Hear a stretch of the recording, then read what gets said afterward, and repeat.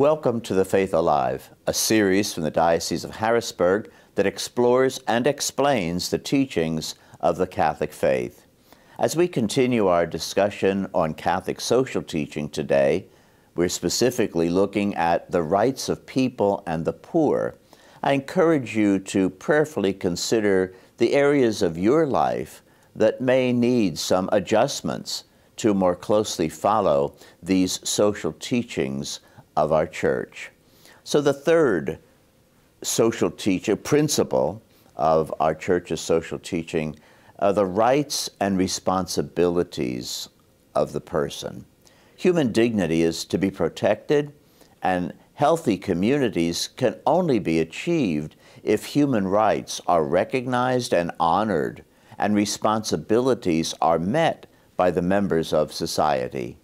Every person has a fundamental right to life and a right to those things required for human decency. We often hear the phrase, the common good.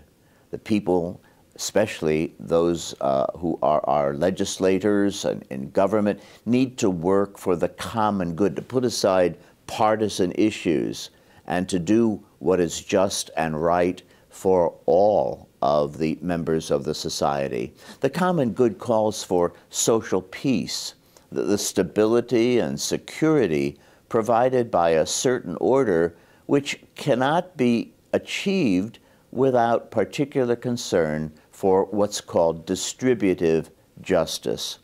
Whenever this is violated, violence always ensues. Society as a whole, and the state in particular, are obliged to defend and promote the common good. The inviolability of the human person, which is a reflection of the absolute inviolability of God in whose image and likeness we've been made, finds its primary and its fundamental expression in the inviolability of human life. God is the author of life, and He alone breathes life into us he alone determines when our life on this earth should end. Man has the right to live, and he has the right to bodily integrity, to the means necessary for the proper development of life, particularly those things so essential to a dignified life food, clothing, shelter, proper medical care, rest, and finally, the necessary social services to take care of our lives. In a consequence, he has the right to be looked after in the event of poor health or declining health, disability stemming perhaps from work, uh, widowhood, the infirmity of old age, enforced unemployment, or whenever, through no fault of his own, he's deprived of the means of livelihood. We require a social network, something to assist us when we fall into those difficult, challenging situations. In human society, one man's natural right gives rise to a corresponding duty in other people, the duty of recognizing and respecting my rights. I respect the rights that you have, you respect my rights. That corresponding rights and responsibility to recognize rights are part and parcel of a harmonious society. As for the state, it also has the duty to protect the rights of all of its people, and particularly of its most vulnerable, its weaker members, workers, women, children, the state has the obligation to take care of those people and their rights. The fourth principle of Catholic social teaching regards the poor and the vulnerable. It's often phrased as a preferential treatment for the poor. The basic moral test is how these most vulnerable people are faring in a society. Jesus said, As you do to the least of these, my brethren, you do it to me. in the 25th chapter of St. Matthew's Gospel, the beautiful passage about the final judgment. So, in the end, we will be judged on love, our love for others, especially those who are the most vulnerable. This corresponds to the way we treat others. Our Lord said, Be merciful as your heavenly Father is merciful. Do not judge, and you will not be judged. Do not condemn, and you will not be condemned.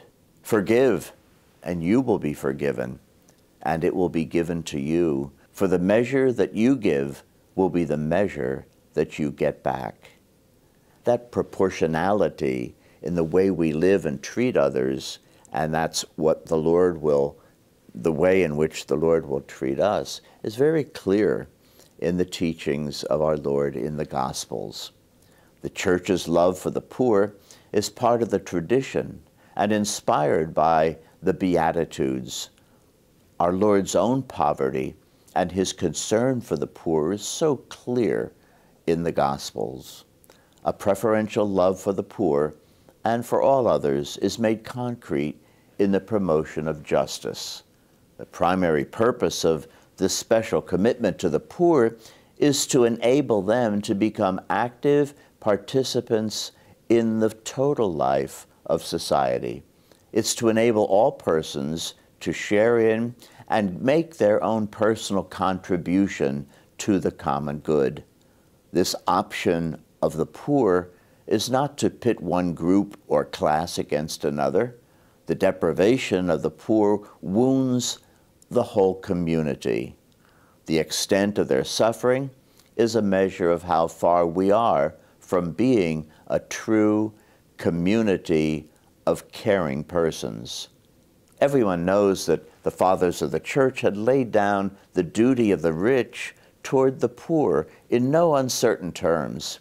As St. Ambrose put it, you are not making a gift of what is yours to the poor man, but you are giving back what is his. You have been appropriating things that are meant to be for the common use of everyone. The earth belongs to everyone, not to the rich. So said the great father of the church, St. Ambrose. Thank you for joining me, and until next time, may the blessing of Almighty God, the Father, and the Son, and the Holy Spirit come down on you and remain with you forever. Amen.